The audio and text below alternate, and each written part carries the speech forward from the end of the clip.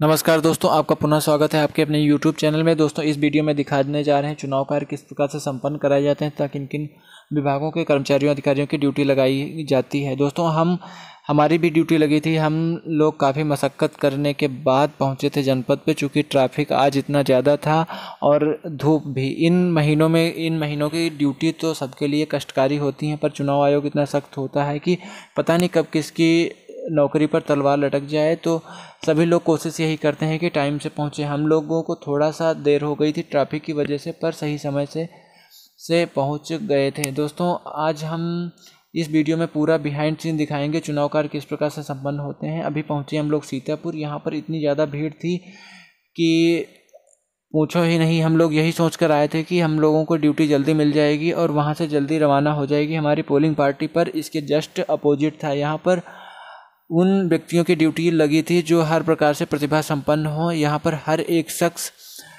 अपने आप में एक विशेष प्रकार की प्रतिभा संजोए हुए खड़ा था। दोस्तों, यहाँ पर चुनाव ड्यूटी मिलने में हम लोगों को बच गए थे। दो तब तक काफ़ी मशक्क़त करनी पड़ी, चूँकि चुनाव आयोग द्वारा काफ़ी पुख्ता व्यवस्थाएँ की जाती हैं। हर तरीके से, चाहे वो सुरक्षा व्यवस्था हो, चाहे गोपनीयता की, चूँकि चुनाव आयोग कोई कसर नहीं छोड़ता है कि उसकी, उसके कार्यों पर कोई उंगली उठाए। दोस्तों, चुनाव आयोग द्वारा इतनी पुख्ता व्यवस्था की जाती है कि किसी भी कैंडिडेट को ये नहीं पता होता है कि उसकी पार उसकी पोलिंग बूथ पे कौन कौन सी पार्टियाँ आने वाली हैं तथा किन किन कौन कौन सदस्य होंगे। दोस्तों, यहाँ आने के बाद ड्यूटी रिसीव करने के बाद ही हर किसी को पता होता है कि उसके टीम का कौन सा मेंबर है। दोस्तों, हम भी अपने पोलिंग पार्टी से बड़ी मुश्किल से मिल पाए थे, जो कि अगर काउंटर काउंटर चुनाव आयोग द्वारा इतनी अच्छी पुख्ता व्यवस्था ना की गई होती तो वो भी मिलना बड़ा मुश्किल होता है, चूँकि अगर नंबर नहीं मिला होता, इतनी भीड़ में ढूंढना एक अपने आप में बड़ा काम था। और सबसे बड़ा चैलेंज ये था, गर्मी के मौसम में पंडाल में बैठा बैठा नहीं जाता था, हर कोई अपना सामान, अपनी ड्यूटी रिसीव करने के बाद छाया ढूंढता था। यहाँ पर पंखों की व्यवस्था की गई थी, पर आप सोच सकते हैं, इस भीषण गर्मी में पंखे एक पंडाल को कितना, कितनी हद तक ठंडा रख सकते हैं। दोस्तों, हम, हमारे साथी काफ़ी थक भी चुके थे इस भाग दौड़ में और हमारे जैसे सभी अन्य कर्मचारी अधिकारियों को भी इसी प्रकार की समस्याओं का सामना करना दोस्तों, आपसे पुनः यही रिक्वेस्ट करूँगा कि अगर आपने वीडियो को अभी तक लाइक नहीं किया तो लाइक ज़रूर कर दीजिए तथा चैनल पर अगर नए हैं तो सब्सक्राइब ज़रूर कर लीजिए लीजिएगा। दोस्तों, आपके लाइक शेयर कमेंट से मेरा मनोबल बढ़ता है और नेक्स्ट वीडियो में यही कोशिश करता हूँ कि इस वीडियो से आपको बेहतर जानकारियाँ दूँ। दोस्तों, ये वीडियो बनाने का मेरा सिर्फ़ और सिर्फ़ यही मकसद है कि चुनाव आयोग पर बहुत सारे लोगों, बहुत सारे लोगों द्वारा लांछन लगाया जाता है तथा इसकी पारदर्शिता पर शक किया जाता है। दोस्तों, इस वीडियो में मैंने सारे, सबके कन्फ्यूज़न दूर किए हैं। दोस्तों, चुनाव आयोग द्वारा इतनी पारदर्शिता रखी जाती है कि इतनी किसी परीक्षा में भी नहीं रखी जाती होगी। दोस्तों, चुनाव आयोग द्वारा इतनी पुख्ता व्यवस्थाएँ की जाती हैं कि किसी सदस्य को यह नहीं पता होता किसकी ड्यूटी कहाँ लगेगी और उसके साथ में उसके साथी किस विभाग के हैं या कौन कर्मचारी है, वो तो ड्यूटी रिसीव करने के बाद ही मिलती है। ड्यूटी रिसीव करने के बाद उनको अपने जो भी वीवीपैड या ईवीएम मशीन मिलती है, उनको लेके पोलिंग पोलिंग बूथ पे जाना होता है, तथा वहाँ पर रात को सेटअप करके अपने कागज़ को चेक कर, कागज़ जो भी डॉक्यूमेंटेशन कार्य होता है, कंप्लीट कराना होता है। दोस्तों, हम लोगों की ड्यूटी मिल चुकी है, जो लोकल में ही लगी है। हमारे घर से तकरीबन नौ दस किलोमीटर दूर तो हम लोग अपनी ड्यूटी रिसीव करके अपने पीठासीन अधिकारी से मिलकर निकल चुके हैं। उनसे मुलाकात होगी सुबह पाँच बजे सात बजे से वोटिंग होनी है। उसके पहले जो कार्य हम लोगों को संपन्न कराने हैं, संपन्न कराएँगे। दोस्तों, वीडियो में वो मैंने कुछ नहीं दिखाया है जिससे आचार संहिता का उल्लंघन हो। अगर गलती से अगर ऐसी कोई चीज़ें हैं तो उसके लिए मैं क्षमा प्रार्थी हूँ। दोस्तों, ये वीडियो बनाने का मकसद सिर्फ़ यही है कि आप लोगों तक सही जानकारी पहुँचे तथा हम लोगों के दुख दर्द जो हम लोगों को काफ़ी इन वोटिंग के दौरान समस्याओं का सामना करना पड़ता है, ये सब कुछ दिखाने का। दोस्तों, बहुत सारे ऐसी जगहें होती हैं जहाँ पर चुनाव ड्यूटी लग जाती है। हमारे कर्मचारियों, अधिकारियों या हमारे जैसे साथियों की वहाँ पर खाने तक की कोई व्यवस्था नहीं होती है। दोस्तों, हम लोग भी इंसान हैं, आप लोगों के लिए आते हैं। आप लोगों से यही, आप लोग हम लोगों से यही उम्मीद करते हैं कि हम लोग शांतिपूर्ण चुनाव संपन्न कराएँ। तो आप लोग भी थोड़ा हम लोगों को कॉपरेट कर लीजिएगा, ताकि हम लोग भी शांतिपूर्ण चुनाव कार्य संपन्न कर, करा सकें। दोस्तों, हम लोग यही सोच रहे थे कि हम लोगों की ड्यूटी जल्दी मिल गई, आसानी से पहुँच जाएँगे, पर ट्रैफ़िक इतना ज़्यादा था कि हम लोग घंटों इस ट्रैफ़िक और इस धूप की मार खा, खाते रहे। इसी बीच में हम लोग इसी ट्रैफ़िक में फंसकर लंच भी किए थोड़ा बहुत चूँकि ज़्यादा देर धूप में खड़े होना मुनासिब नहीं समझा। जब ट्रैफ़िक हटा उसके बाद हम लोग निकले।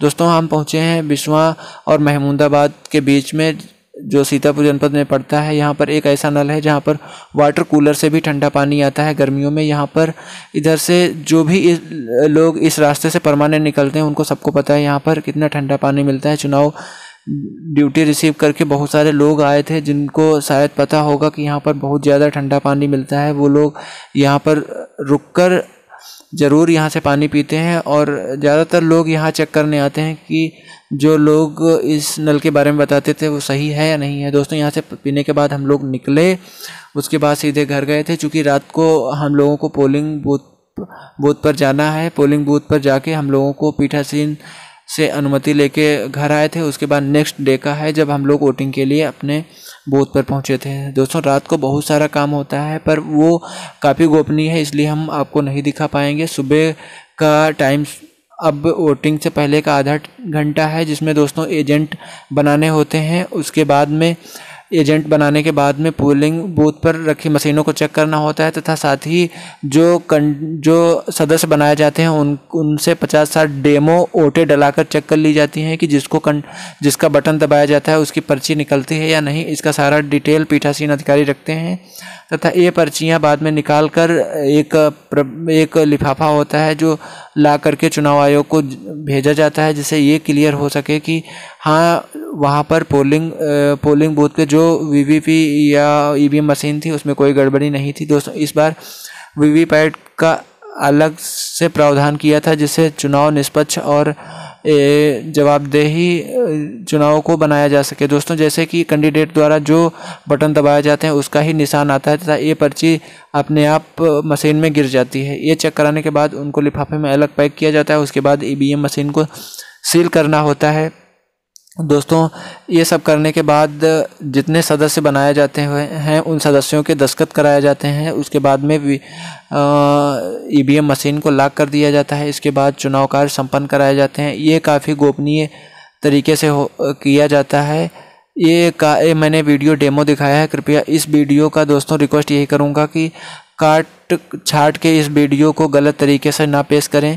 दोस्तों ईवीएम मशीन सील करने के बाद में वोटिंग शुरू होती है। दोस्तों, हमारे वहाँ काफ़ी चैलेंजिंग था, चूँकि हमारे बूथ पर सिर्फ़ मुस्लिम वोटर्स थे और चूँकि आप सबको पता है कि पोलिंग बूथ के अंदर नकाब या किसी प्रकार के कपड़े से मुँह ढक कर आना नहीं होता है। यहाँ पर इन सब चीज़ों को कराने में काफ़ी दिक्कतें का सामना करना पड़ता था, चूँकि यहाँ पर अलग अलग मिजाज के लोग आते थे। उनको नकाब, उनसे उतरवाना, उनको उनको काफ़ी कष्ट कष्टकारी गुजरता था, पर हम लोगों की ड्यूटी थी मजबूरन करना पड़ता था। हम लोगों का मकसद कि किसी की भावनाओं को ठेस पहुंचाना या कुछ नहीं था, पर जो ड्यूटी थी, वो, उसको तो निभाना ही था। दोस्तों, चुनाव कार्य छः बजे तक संपन्न हो गए थे। हमारे वहाँ लगभग तकरीबन साठ परसेंट वोट पड़े थे। उसके बाद में छः बजे तक छः बजे तक वोटिंग के बाद में जितने सारे डॉक्यूमेंट होते हैं, उनको लॉक करना होता है। उसके बाद उसके बाद मशीनों को भी लॉक करवाना होता है, वो भी एजेंटों की निगरानी में।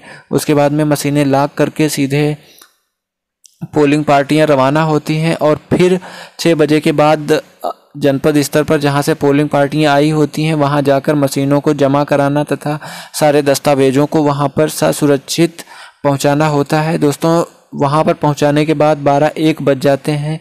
उसके बाद ही छुट्टी मिलती है चुनाव चुनाव आयोग द्वारा। दोस्तों, ये काफ़ी जोखिम भरा एवं काफ़ी जिम्मेदार, जिम्मेदाराना कार्य होता है, जिस, इसलिए चुनाव आयोग द्वारा उन्हीं प्रतिभा संपन्न लोगों की ड्यूटी लगाई जाती है, जो हर तरीके से हर कार्यों में निपुण हों। दोस्तों, मैंने इस वीडियो में इस वीडियो बनाने में काफ़ी मेहनत की है। दोस्तों प्लीज़ रिक्वेस्ट है आपसे वीडियो को लाइक ज़रूर कर देना। दोस्तों, हमारे सर लोग काफ़ी कापरेटिव थे, जिन्होंने काफ़ी शांतिपूर्ण ढंग से चुनाव संपन्न कराया, जहाँ पर टोटल मुस्लिम वोटर थे और नकाम उतरवाना, चुनाव का संपन्न कराना काफ़ी चैलेंजिंग था, जहाँ पर शांतिपूर्ण चुनाव संपन्न कराए गए। अब की बार दोस्तों, चुनाव आयोग द्वारा वेब कास्टिंग की सुविधा भी उपलब्ध की थी, जितने संवेदनशील थे, वहाँ पर ऑनलाइन कैमरे लगे हुए थे, जिसकी मॉनिटरिंग डीएम कार्यालय द्वारा होती थी। सौभाग्य था मेरे मेरे बूथ का, जहाँ पर डीएम साहब भी एक बार आए और जोनल सेक्टर मजिस्ट्रेट भी आए।